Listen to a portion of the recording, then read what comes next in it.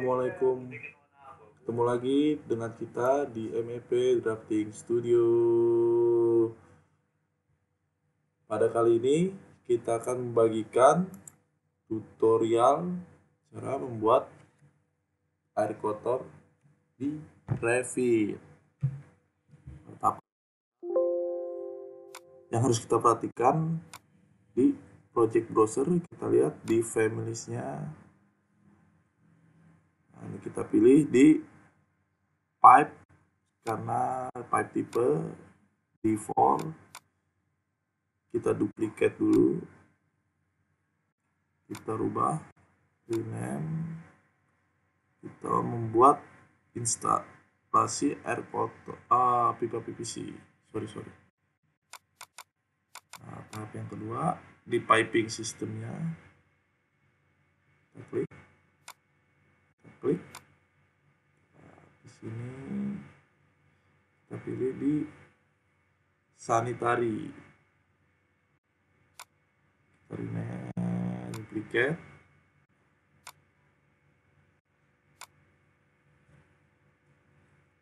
namakan west. West uh, west west west. West water. Nah pipa ini untuk air bekas lalu kita duplicate lagi untuk membuat pipa kedua. Air kotor kita namakan sewage water.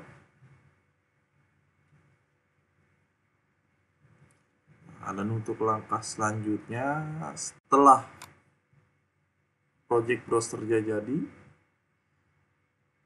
ya kita buat pipanya kita klik pipe nah ini slope slope perlu ya, ya. ini nanti aja deh. Nah, kita langsung ke tahap gambarnya aja. Oke di sini kita properties kita pilih tipe, tipe pipa PVC di sini peruntukan sistem tipenya kita masukkan seaward water terlebih dahulu karena kita membuat pipa air kotornya dulu. Nah, di sini 4 in diameter kita pilih. Nah, lalu kita klik, kita gambar. Nah, pilih sumbunya dulu, sumbu acuan. Nah, ini kelebihan di Revit. Nah, dan jangan lupa offsetnya dulu teman-teman minus 500 atau minus 50 cm dari titik nol lantai ya, kita ini, kita acuannya di sini karena outletnya closet. Nah, ini ternyata agak ini. Kita ulang lagi proses tadi kita klik pipe. Klik. Nah, jangan lupa untuk offsetnya 500 mili atau 50 cm uh, untuk tipe pipanya sudah PVC. Nah, di sini sistem tipenya sudah si water. Nah, ini jenis pipanya aja sih. Steel carbon kita harus ganti.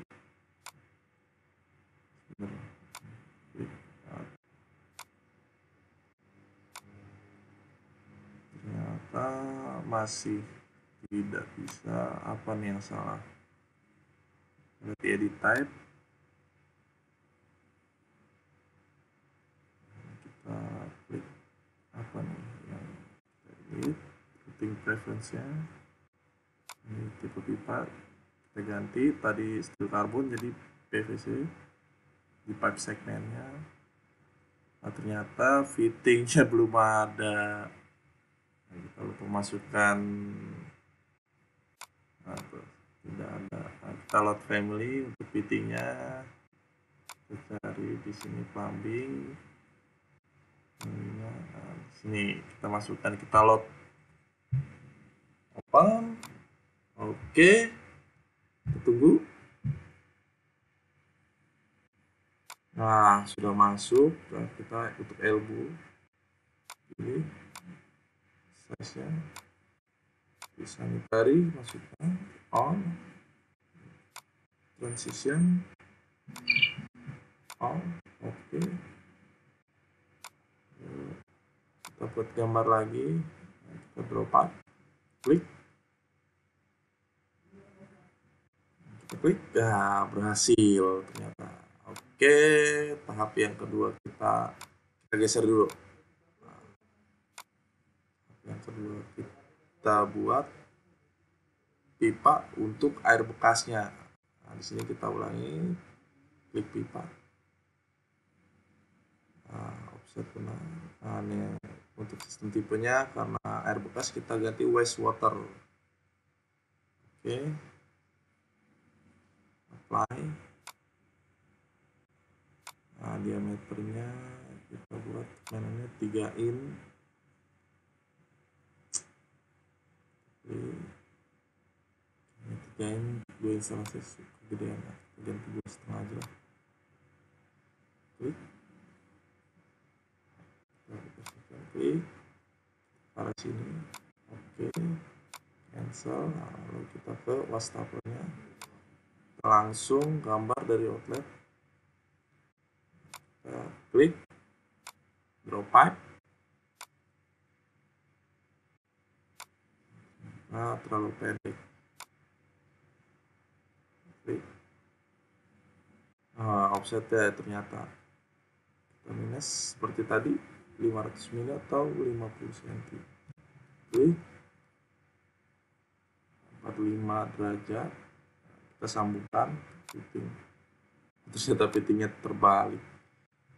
Kita rubah. Ini agak tricky nih.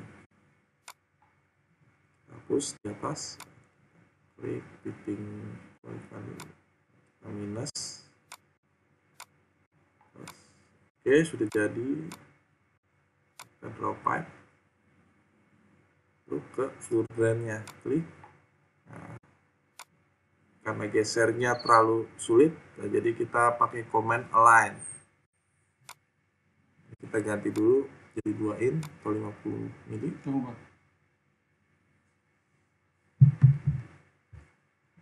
ini kita align untuk geser pipa keseluruhan tanpa merubah fittingnya oke sudah lain drop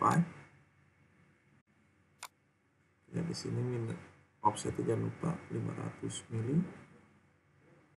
Klik. Oke sudah jadi. Tinggal kita lihat perspektif tiga dimensinya. Kita blok. Uh,